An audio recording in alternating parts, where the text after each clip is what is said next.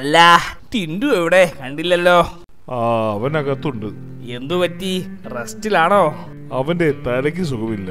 അതൊരു പുതിയ വാർത്തയല്ലല്ലോ. അയ്യോ അതല്ല. തലയ്ക്ക് സുഖമില്ലെന്ന് വെച്ചാ തലയൊന്ന് മുഴച്ചു അതെങ്ങനെ? ഉത്സവത്തിന് പോയപ്പോ അവൻ ഒരേ വാശി. ആന പുറത്ത് കയറണമെന്ന്. ഏ? ആനയെ പുറത്ത് കയറ്റാനോ? അതല്ല എന്റെ നമ്പൂരി. ആന പുറത്ത് കയറണമെന്ന്. എന്നിട്ട് കയറ്റിയോ? പാപ്പാൻ ബാബു നമ്മുടെ പരിചയക്കാരനാണല്ലോ. അമ്പലത്തിലേക്ക് പോകുന്ന വഴിക്ക് ഒരു ആർച്ചില്ലേ? ഓ ക്ഷേത്ര കവാടത്തിലെ അത് അതുതന്നെ ആ ആർച്ചിന്റെ മുകളിൽ തട്ടി തലയൊന്ന് മുഴച്ചു. അവൻ എന്താ ആനപ്പുറത്ത് കയറി ഉറങ്ങിപ്പോയോ ഏ? ഇല്ലില്ല എന്താ അവൻ കുനിയാഞ്ഞതെന്ന് ചോദിച്ചപ്പോ അവനൊന്നും പറയുന്നില്ല. എന്നിട്ട് അവൻ എവിടെ ദീപു അവനെ കാണാൻ വന്നിട്ടുണ്ട്. ഞാൻ അവനോട് പറഞ്ഞിട്ടുണ്ട് തല കുനിയാത്തതിന്റെ രഹസ്യം മനസ്സിലാക്കാൻ.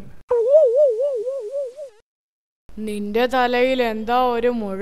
ഞാൻ ഉത്സവത്തിന് ആനപ്പുറത്ത് കേറിയപ്പോ വലിയൊരു ആർച്ചുണ്ടായിരുന്നു അതിന്റെ മേൽ തല മുട്ടിയതാ. നിനക്കൊന്ന് കുനിയാമേലായിരുന്നോ ഞാൻ കരുതി ഞാൻ കരുതി.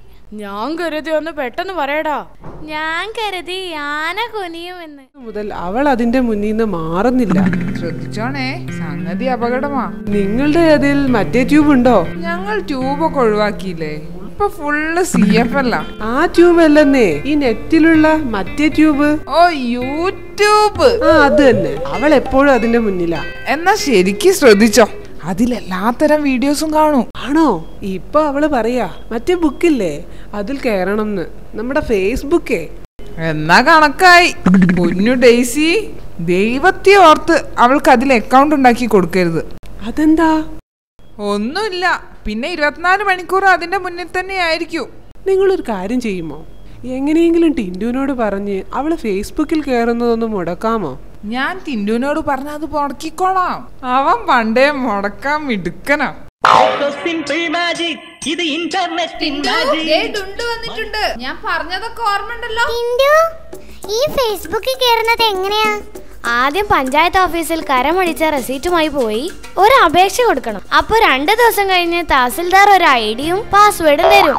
അത് ഗൂഗിളുകാർക്ക് അയച്ചു കൊടുക്കണം. അപ്പൊ അവർ പറയും വീടിന്റെ മുന്നാധാരവും കുടിക്കട സർട്ടിഫിക്കറ്റുമായി കൊച്ചിയിലുള്ള ഫേസ്ബുക്കിന്റെ ഓഫീസ് പോവാൻ. രണ്ട് ഗസ്റ്റഡ് ഓഫീസേഴ്സ് ഡാമിൽ നിന്നാൽ മതി. ഓ താരമർഹസ്യ എന്ന്. നയൻതാരയോ? അല്ല കാവ്യാമാധവൻ. എടാ നിന്റെ കണ്ണ് നോക്കിയാ മതി. എനിക്കെല്ലാം പറയാൻ പറ്റും. അപ്പൊ താങ്കൾക്ക് ജാതകം നോക്കാൻ അറിയില്ല. സംഗതി തട്ടിപ്പാണല്ലേ? എടാ ജാതകം നോക്കേണ്ട ആവശ്യം വരുന്നില്ല എന്ന് ഞാൻ പറഞ്ഞില്ലേ? ജ്യോതിഷവും ജ്യോതിശാസ്ത്രവും അരച്ച് കലക്കി കുടിച്ചവനായി ഞാൻ. എനിക്കും തരോ? എന്ത്?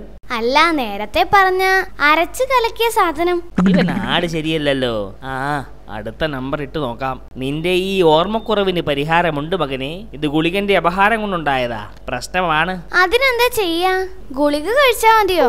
ഒരു വഴിയുണ്ട്. കാളി ക്ഷേത്രത്തിൽ പതിനഞ്ച് ദിവസം തുടർച്ചയായി രക്തപുഷ്പാഞ്ജലി നടത്തണം. രണ്ട് നാൽക്കാലികളെ കാളി ക്ഷേത്രത്തിൽ ബലി കൊടുക്കണം കേട്ടോ. അമ്പടാ ചുളുവിൽ കാളയിറച്ചി കഴിക്കാനുള്ള പരിപാടിയാ. രണ്ട് കോഴി പോരെ. ചിക്കൻ പോരാ ബീഫ് തന്നെ വേണം. ബീഫോ? അതെ നാൽക്കാലി. രണ്ടെണ്ണം നിർബന്ധമാ. എന്നാലേ വിചാരിച്ച ഫലം കിട്ടൂ. കോഴി നിന്നും അടുത്തപ്പാ. ഒരു പണി ചെയ്യാം. രണ്ട് നാൽക്കാലികൾക്ക് പകരം. പകരം? ഒരു എട്ട് കാലിയെ തരാം.